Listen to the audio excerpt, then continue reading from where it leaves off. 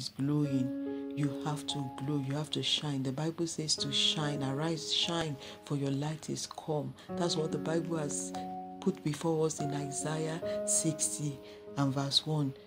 The light has come. You are that light, the light of the world. Shine in your office, glow in your office. Let somebody recognize you that you carry the presence of God. Be distinguished, glow, shine, shine. We sing the song, Shine, Jesus, shine.